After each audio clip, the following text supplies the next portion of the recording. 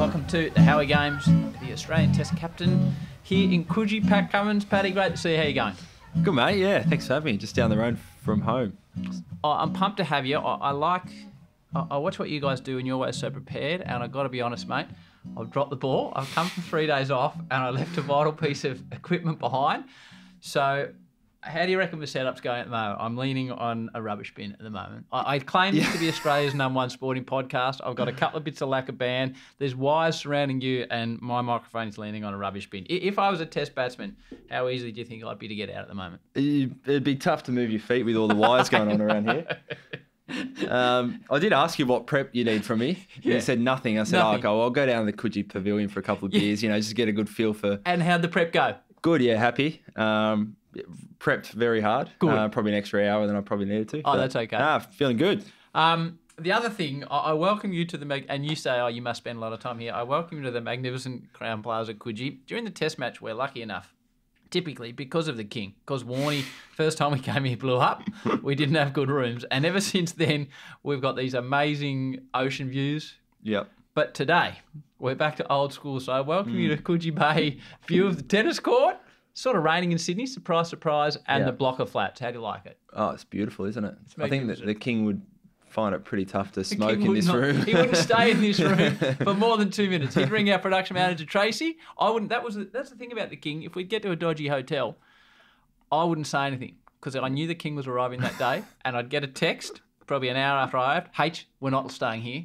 Meet you downstairs in ten minutes, and we'd end up in a different hotel room. It's the same. Like Davey Warner's he? similar. It, may, not the hotel room, but dinner reservations. No, we can do better than this. Right. Like just those little things that people are fine. Just you know, we'll cop it. He's, it's just you just every team needs one of them who just it just has a lower threshold than And you. that's Davey. Yeah. Well, that's good because obviously it's a great tragedy in all seriousness that the Shane is no longer with us. But it was announced that Davey's joining Fox whenever he decides to wind up his Test career. So he, he could be my man if the hotel's not up to scratch. I just text him. Yeah, absolutely. I, I thought it was. You know, I know his future contract, but we Yeah. thought he might have been on for this summer. The amount of spider cam He's work he did, work. and don't know, you had a half an hour meeting with him out Well- there every day. well, well, that day it was raining, and I think I was lining up to do an interview with Nathan Lyon. I, I knew he was on board when he leaned over your magnificent old pavilion change room there and shouted out, "Mate, do you want a coffee?" I thought, "Wow, this, this we bloke- don't get that treatment. This bloke's really signed up at Fox, hasn't he?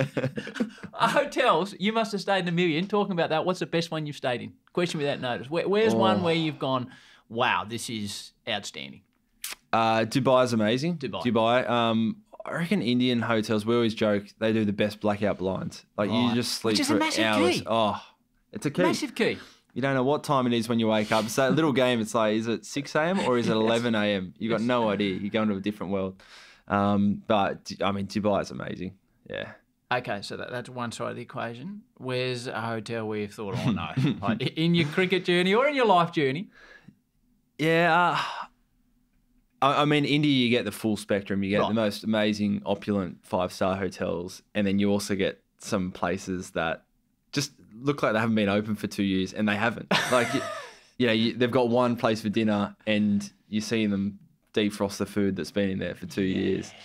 Um, and by all reports, you know, that was the norm 20 years ago. So there's not too many of them. Um, they're all, I mean, yeah, they're all, you make the most of it. Everyone's, as long as you've got good internet for the boys to play PlayStation on.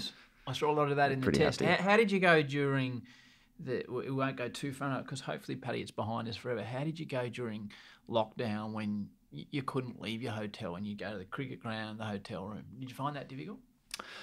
Yeah, we did. Um, sorry, that probably sounded like a fart. Did No, it? no, you I'll didn't, though, did you? You're, you're No, perfect. no, You've it's never done anything wrong in your life. People tell me this all the time. um, yeah, we. It was it was tough um, in a few regards. One, just knowing as soon as you're on a flight overseas, you're two weeks away from coming home. Yeah. Um, so the you know one of the times I flew off to the T20 World Cup, my son was three days old, four days old. So I left, and you know one thing, thinking, you know they're left alone, but also going, oh geez, I'm two weeks away from being home if anything goes wrong. Did you cry when you left? I did, yeah, Yeah. only time ever really. Is it? Yeah. Um, I get that. so I think that's you've never felt further away from home than than during COVID, and then just the day to day you know, you can't walk out and get a coffee. All the simple things which aren't big deals as a once off, but when they compound over months and months, um, they do add up. So uh, on that side of it, it's quite uh, hard. I think all, all the same at the same time, we're really appreciative that a lot of people were locked down at home and we were on the other side of the world doing what we love doing, and we're doing it with you know, 20 other guys who are our best mates. So it's kind of weird. Some parts of it really, really enjoyed. Some other parts were different and, and tough. Funny you say about about the best mates. There was a, I don't know even the way to describe it, Paddy. There was a, no, no, there was stories floating around at the start of the summer that the Australian public had gone off the Australian cricket team. And I, I often think to myself, so, so I'll ask mates and friends, and not one of them off the Australian cricket team. So I don't know if it's a media narrative, but I, I, I say to people yeah, at the start of the summer, and they're like, "What are the players like?" I said, "Watch," and I sent you a message about this the other day. I said, Yeah. "Watch the first hour of Fox Cricket any day, and you'll see these blokes are the nicest blokes in sport." uh, uh, uh, to me, mate, it used, in all seriousness, it used to be the V8 supercars of all the sports I worked on. They were the most open and affable and happy to chat. But you you you watch Fox Sports now, and you're giving us a, bowling lesson on how to bowl in swingers before the game, or Travis Head's in the nets telling us what he's doing, or Alex Carey's explaining his keeping, all with a smile on your face, all with as much time as the world we want to get. That the teams always been good, but in the last year, I don't know if it's a reflection of you taking over as captain or Ange McDonald being coach. This is on you, not not on past history. But your cricket team is the nicest sporting team I reckon I've ever dealt with at the moment. Like they are outstanding men, and I never got the uh, the Australian public is off this team narrative as a result of that because of first hand experience. Yeah, well, um, I mean, thanks for sharing that. Um, glad to hear it. Uh, we talk a lot about, you know, it's, it's like there's always you know cliches and little lines of you know, block out the noise, and and we really do have to in, in professional sport, um, just to survive really more than anything else, because there's so much that gets thrown about, um, and I've, I've been really proud with how the guys have, you know, e- even something like the test documentary, which has just come out. You know, we invited. I have, yeah, Oh, how good! yeah. so good. It was great. I forgot half of the stuff Right. that happened in it, but you know, uh, even I was chatting to a couple of ex players, and they always ask, you know, what was it like bringing the cameras into the change room? Geez, I'd never do that. Hmm.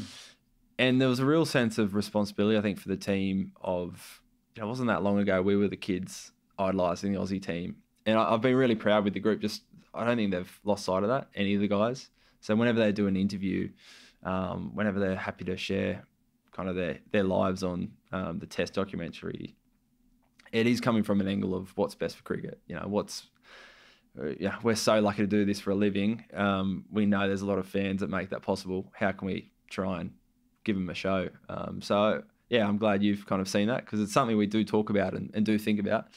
Um, and I mean, I'm biased, but boys are awesome. They're They so are. good. They, they are. Yeah. They're like they're awesome cricketers, but like if you know if, if I look at it, like Usman Khawaja, he, he's like he- he- funny guy, funny guy, great sense of humour. Alex Carey, world's nicest man. Travis Head, he's pretty quiet, but he's always giving with his time. You, you bowlers are all like.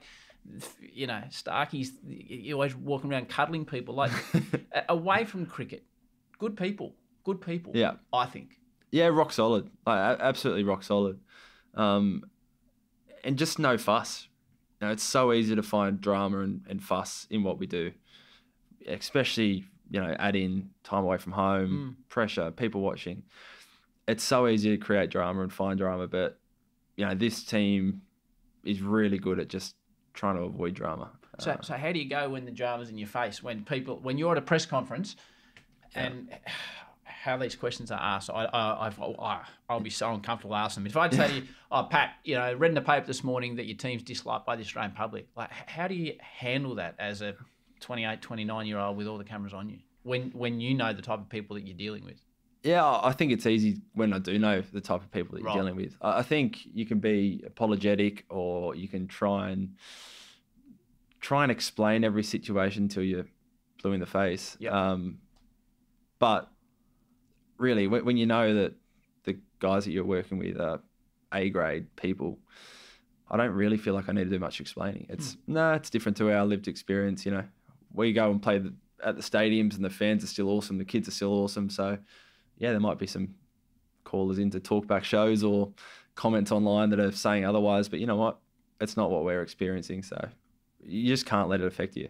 And how do you deal with negativity in general, Paddy? There's so much in your profession, in my profession. I'll show you my Twitter feed after a big bash game, and there's what are you doing there? Yeah. Who's this bloke in the commentary box? Like it's constant, but people feel the need to vent. How do you deal with Yeah. negativity that enters your world?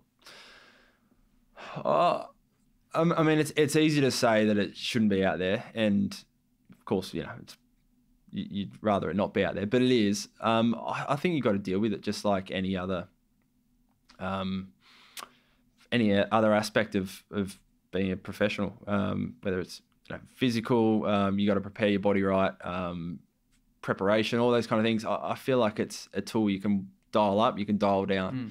I think whenever a player says, "This is a joke," this is you know, this noise has got to me, etc., etc., and blaming the people that are writing all the comments, I think they've they've missed the mark a little bit. I, I think it's yeah, we don't have to open Twitter, we don't have to open Instagram. Like we do have some tools at our disposal, some levers we can pull. So um, personally, I try to avoid it as much as I can. Um, I'm not great. Yeah, sometimes you know curiosity gets the better of me, but I think if if I just reflect on some of those comments and things people say or what I'm going to get asked, and if I genuinely kind of honestly think they're off the mark to what I'm trying to do or how I've you know acted, basically you know if I can still sleep at night, look myself in the mirror, I move on with it really quickly. It, it really doesn't bother me. So it doesn't like if you look at a direct message on Instagram and or someone sent you a, a, tagged you, it,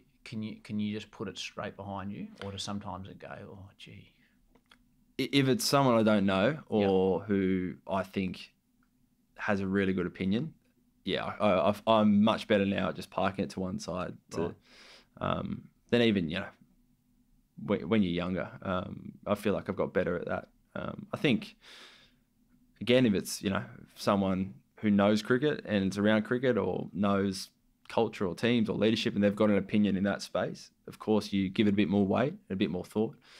Um, again, I, I do feel like what we're doing inside our group is so hard to to understand unless you're in there every single day. absolutely. It's it's hard to have an opinion on how someone's going when you just turn up for the first ball of a summer and you haven't seen them that they've been on the road away from their family for six months. All Yep. those nuances that um, sometimes gets gets missed. so who's in your life whose opinions do you value? Who, who do you look at and they say something to you and you're like, yeah, like my wife said something to me last night and I was like, ooh, Yeah, but she said it from a point of love, and I was like, oh, gee. And I reflected on this morning. I said, okay, well, I probably need to be better on that area. Like, whose opinions do you actually listen to and think, okay, Yeah, uh, yeah. Wife's a big one. Um, again, she she's knows me um, and really well, so she knows when something's on my mind. She also has a really good way of bringing clarity to me um, on different situations. So, um, you know, we've got a 15 month year old child, and like even the other day, I was venting or, or doing something, and she's like, hey, "Look at Albie. When he's 16 years old, do you reckon he's really going to care that this thing happened? And I was like, oh, yeah, kind of like a moment of clarity, perspective? um, perspective. So, um, you know, she's great. Around the team, um, there's some really good senior players that I think have a really good just bullshit radar. Yeah. Um, you know, Ronnie, Andrew McDonald, the coach, is fantastic at that. George Bailey, selector. Um, yeah, just just you know, people, some close mates outside of cricket. Again, getting a good pulse on. They absolutely love cricket. They're kind of you know in the public. Are these articles or just really getting the temperature of the room from people um, outside of the, the the immediate squad as well, brothers, dad, um, so yeah, lots of people I love chatting to and always pick up you know different different things from. Um, I'll ask you later who you think Pat Cummins is, but to give people an idea of who I think Pat Cummins is, you walked in here and you can use the chap's name, you can not use the chap's name. I don't want to embarrass you, but you just told me a brief story. You're out to lunch with a fella that had a connection with you for a long time. Could you share me with me what you would just tell me that the chap you had lunch with and how long you've known him? Uh, yeah, I was just having lunch with um, Basil Sellers. I'm not sure if he's a listener. Sorry, Howie. Nah, well, he's not. He's, he's one of the few We'll Australians that not Paddy. Get him involved. Um, but he's a uh, really, really generous supporter of um, of many charities, Australian sport, big supporter of cricket in New South Wales and, and Sydney Swans. But he um, and, and various charities all around the world. But he um, he has a, a scholarship program, Basil Sellers scholarship, where he basically gives a you know small donation to about ten um, kind of different players each year, normally from the age group about fourteen to sixteen. Um, helping with just basically their you know a little bit of cricket coaching, but helping pay for their accommodation or travel if they're from the country, maybe buy them you know a cricket bat um, or money to go towards education. Um, so maybe a little bit older because I you know I was university, so he helped pay for my first year at university. So, So, so he gave you one of these scholarships. he gave me one of the scholarships. So yeah, that would be a good 15, 16 years ago. So um, yeah, hadn't seen him for a few months. Stay in touch. So try and yeah, he uh, How old is Harry? uh, Basil. Basil? Um, he's Basil's ninety odd. Yeah, ninety five or something, but fit. Maybe ninety one. And you still catch up with him. Yeah, yeah, quite a bit. So He's, to uh, people listening to me, that is the Pat Cummins I know. Like that's, um, you got a busy life.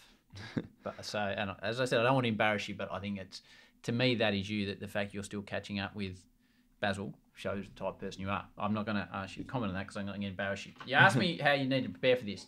Text me last night and you said you're at the Coogee Pav. so actually, before I ask you, what, how, what's life like when you're not playing cricket? So when this comes out, you'll be in India, um, hopefully one 0 up in the series. But th- this is a short period. Like, Yeah. is there is there normal Pat, or is Pat always thinking about in this particular instance India? No, I'm pretty good. Certainly much better than I used to be at just switching off. Um, I think once I started playing all three formats and weren't injured all the time, I, I kind of I was all cricket and I felt like I just got burnt out really, Right. really, really fast. So um, I'm much better now. When I'm home, I'm home. Um, so you know, even if I've got to do some training, but I'll try and schedule that in like first thing in the morning, get it out of the way, and then the day's mine. So, um, yeah, these couple of weeks I'll just go to the beach most days. Go to you know take the um, take Albie into the pool, go and Be get coffees, catch up with some friends. Just went up the coast for a few days with family. Oh, where'd you go? Uh, Narrabeen, Northern oh, Beaches. Nice, Yeah, nice, nice. And So- so last night when you were at the Coogee Pav, yeah. how many dudes are coming up and wanting to talk cricket with you?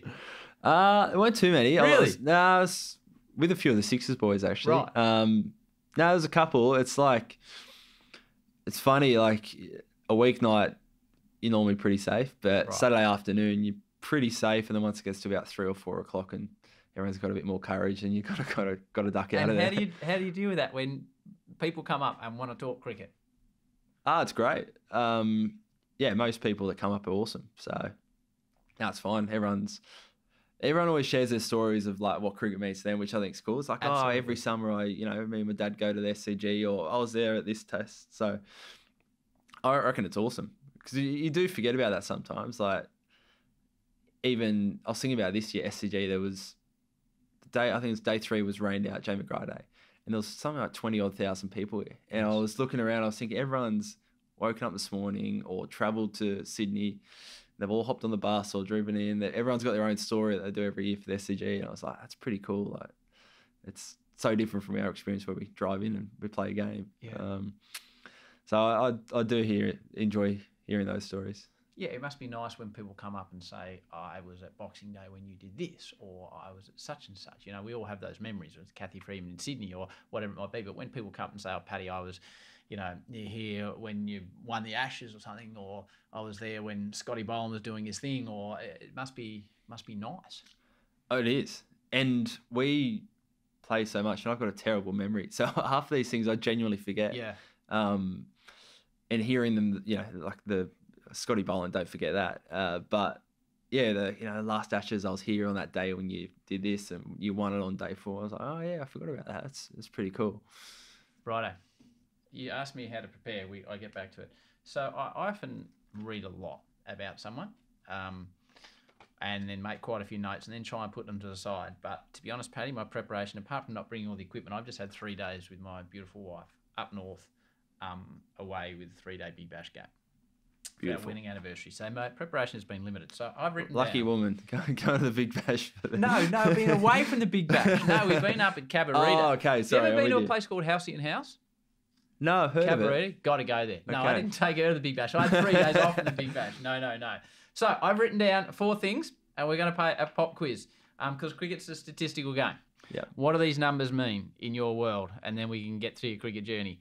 47th. Uh, test captain. Yes, you are the 47th Test Yes. captain of Australia. 1946. 1946. Um. Days. Okay, days between test matches. Yes, between your test match and injuries and then coming back to test cricket. Tells a lot of your story. Yeah. 21.25. Bowling average. Bowling average. Yeah.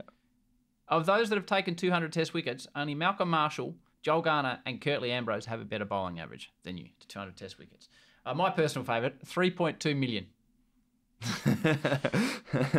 uh, before tax. Before exchange tax rate. And exchange rate. The IPL deal. And a final one for you. I think you won't get this one. 121. 121. I wouldn't spend too much time thinking about this one. No idea. That's my room number here at the Crown. Okay. so, like those numbers, in some ways, summarise your whole career. But where does it start? Tell me where um, where your folks are from, brothers and sisters. Tell me about young Paddy. Yeah, so we grew up uh, Lower Blue Mountains, about an hour west of um, city. Um, we had decent sized backyard, and yeah, I just feel like my childhood was in that backyard outside. Got two older brothers, so I'm one of five kids. Two older brothers, older sister, younger sister. Um, Mum and dad, all sports mad. Dad cricket mad. Um, brothers cricket mad. So as soon as I could walk, I was basically in the backyard chasing them around. All right, give me the backyard setup at the Cummins house. What was out? What wasn't out? I, I love discussing backyard cricket. Yeah, so it's like slight downhill. Right. Um, probably more than slight actually. So you bowled with the slope behind you. Absolutely. Right. Um, the run out, the run up was probably longer than the pitch. the pitch was a good. It was probably yeah, you know, eight nine meters.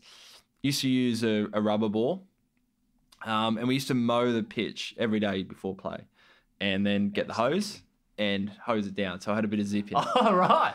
Bowler friendly. We, we say like a, a good twenty there is worth a test hundred Okay. as a kid. And you're you're facing your older brothers. older brothers. Okay. Um, and then we had the used to have so three of us, one bowled, one bat, one kept, and then we'd have the slip cord as the trampoline. Legit wiki. Yep, Trampoline. trampoline. Right. And then we so like rectangle, so behind the bowler, kind of mid off, mid on. That was the boundary, four and six, um, four along the ground, and then it's kind of had a fence. So above the fence was six, and then either side was um, half out if you hit it over the fence, and half out.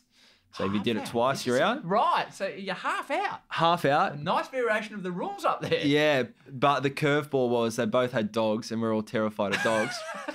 so you're half out, but you had to go and get the ball. so you could lose a leg. So my oldest brother Matt was terrified of dogs, so regularly he would be half out, hear the dogs barking, just go calm out. oh, you'd just be dismissed Yeah, full out. yeah. Right.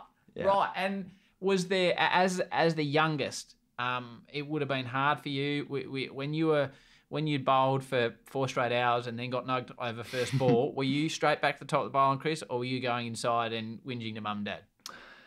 We were pretty good. Uh, We didn't have too many blow ups. Um, like a couple of stories stand out. I remember I um, hit my brother in the head. so he went into the shed. He got a helmet, and then I hit him where, where you don't want to get hit. Right. So he went and got a box and put Right. it on. Right. And he's, by the end, he just paddled up. Um, I remember that one game. I remember another time I got my brother out and he nicked it, hundred percent nicked it straight to electric wiki No DRS. no DRS. Um, huge spike on Snicko, but he didn't walk. so I was fuming. So I just refused to bowl at him. So I just kept running in and just bowled wide after wide after wide after wide. right. And he'd have to go and pick it up, collect it until I just, you know, the next thing the bat was coming straight at me and he was chasing me up I was screaming for mum. Um, but yeah, it's like two older brothers, but age was never a, like, there's no handicaps for being the youngest. It was, yeah, good hard cricket every afternoon. And when the cricket was on the telly, because you're typically playing over summer, like you know, you dash in and check the score. Who who, who is your man? Who who you're watching? Well, it was early 2000s, so that era is, I mean, all of them really. Um, you know, Liam Hayden, opening the batting, punter. Um, used to love. Got a little bit of Mark Waugh, only probably his back couple of years, bit too young. Um, but Damien Martyn, Hmm. and then you had you know Huss. So he started his career. Uh, you know, Gilly, favourite. Warney was awesome. Used to try and bowl leggies in the backyard. Um, McGrath, Binger, they, were- they were kind of, yeah, didn't have anyone particular that was kind of held in higher regard. But That Each of them. eh? Yeah. So, so to divert you for a sec, wh- wh- tell me the player when you've walked into a cricket dressing room with or against that you thought, heavens above, I'm in the same team or I'm Yeah. playing against X. oh, Ricky Ponting, Was it? yeah, um, Ricky Ponting, because I, so I debuted when I was eighteen. I finished school, had no, you know, big aspirations in cricket, but nothing, like didn't think I would ever. It was a creeper. Didn't even comprehend that it would be, and then within a couple of weeks, I was playing for New South Wales. I thought, oh, geez, this like I might not have to get a job here. And then within a couple of weeks later, I basically had an Aussie contract, and none of it really felt real. Like I felt I was going to get the tap on the shoulder and kind of be like, come on, mate, like the jig's up. You're not meant to be here, mate. yeah, and uh, I remember it wasn't until I was in the Aussie dressing room, uh, and I look around and it's whatever it was November, and I was like, I should be in school here. Like this is school time Wow. for the last 20 years, you know, 15 years. And I was like, okay, there's Punter there, there's Mike Hussey there, there's Pup Clarke there, there's Brad Haddin, there's Mitchell Johnson. And I was going around it all. I'm like, wow, this this is the Aussie team. And then, uh, you know, Punter presented my baggy green, and my first thought, I remember this so clearly, was, wow, like. I fooled them all, I've got, and they can't take this back. They've given it like I thought up until that point. It's like, okay, yeah, you know, the jig's up. Come on, off you get. And I was like, once they give the baggy green, I was like, wow, this is serious. Um, so he was the one. Like, just whole life was he was on the TV every time I turned it on, and yeah, now I'm playing the same game as he plays in. when when it's a great story, Paddy, and we'll, we'll get back to that. When when um, Channel Ten got the big bash, and they said, "All right, so we've signed up Ricky Ponting and Adam Gilchrist and Damien Fleming and Mark Waugh." And well, I'd never worked on cricket apart from beach cricket before, and I remember my boss at the time, Dave Barham, you know, Ricky's coming in, we'll have a meeting with him, or you have a practice commentary with him. I'm like, oh, I've never commentated cricket in my life. I'm packing it, and I'll never forget. So Ricky must have gone downstairs. It was level four at Channel 10 and sport was level five. And I presume he heard this because security rings up to the boss, Dave's office, says, Oh, mate, we've got a Rocky Ponting down. I was he's turned his back on Channel 9, who have had captains forever and a day, and he's joined this new operation. And oh, mate, security's called him Rocky Ponting. He didn't mention it. He didn't mention it when he come up. But yeah, that was my first introduction. That's the first time I've met him, and I was similarly awe-inspired. Right, question for you, Paddy. Frequent listeners to this show know that I've got a couple of kids. Um, that whoever's most invested ask a question to the guest. Um, they both invested in what you do, so they both have a question for you. But first, you get Awesome. my son, who's 11. His Yep. name is Mac, but he rolls as the big penguin. This is uh, what we're talking about. Is his question. You ready? Ready for it? Hey Paddy, Big Penguin here. First off, I loved watching you at the Boxing Day test. It was so interesting. Anyway, I play in the nets all the time with my dad and my sister, but sometimes my sister doesn't want to play and it gets really annoying. But what I'm wondering is when you were younger, who did you play in the nets with? So when you've left the backyard, who, Yeah. who, who's your net buddy? Great question, Big Penguin. Um, I, I mean, it's a bit of a cop out, but I used to not enjoy training that much. Did you not? No, because I used to the backyard bowled, batted, kept, and you do it for a few hours, and you had a good crack at all of them. Yep. Um, again, you, you if you last more than twenty balls as a batter, you're doing all right. So I used to find sometimes going to the nets quite boring Right. because you kind of you bowl and it's you know you're one of ten other people bowling, then you get a bit of a bat, and then your batting turns over, or um, so even like I used to go to some of the kids' clinics, and I I just nothing for me. Nothing beat beat backyard, cricket. Um, so I'd go to the nets occasionally, like maybe once or twice. Your dad would take us before a semi final and Right. throw a couple of cut shots at us. Right. That's when you knew it was serious. When Right. dad was suggesting, because dad you know, loved his cricket, but not like Right. no pressure at all on us. So would he be uh, would he be wanting you to bat or bowl in the net? oh, have a bit of both. Okay. Um, What did he What did he send down? Your dad? What's his name? uh, Peter. What did Pete send So down? he's t- my height, six foot four, and he used to bowl the world's loopiest leggies. So Go on, Pete. you kind of if you don't get to the pitch of it, it's up around your you know your Right. ears, Especially on the synth when it it. bounces. Yeah, okay. Um, so yeah, honestly, uh, like backyard cricket. Um, Jordan Silk, who's you know Yeah. really really good um, big bash player, he was in our area, so he used to go over his. He had a tennis court. Oh. Um, Over to Silkers. Was he a gun fielder at age Yeah. whatever? yeah, Was he? and um, bit world's biggest cricket snuff at that Yeah. age too. I remember going over his house a couple of times to watch an ODI, and he had a scorebook and would score. Come on. Did he? yeah. Um, but we we got the tennis rackets out and you know do the big serves, and someone's got to try and bat from Yep. five meters away and just Yep, cop it. yep. Um, so yeah, I- yeah, nets weren't a huge part of my life. First Uh, bat. First bat was a county. A county. A county. Um, my brother bought it with his own money. Um, Or was it hand me down? hand me down For um, free or did you have to buy it off him?